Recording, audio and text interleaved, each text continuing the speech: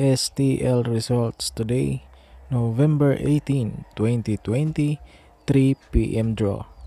Para updated ka kung may resulta na, mag-subscribe na sa ating channel.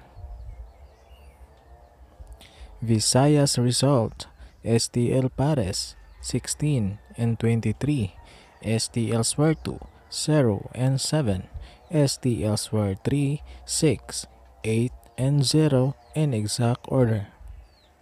Mindanao result, STL Pares 30 and 17, STL Swer 2 3 and 4, STL Swer 3 5, 3 and 8 in exact order. Sa mga nanalo, congratulations po. Good luck po sa susunod na draw. Magandang hapon.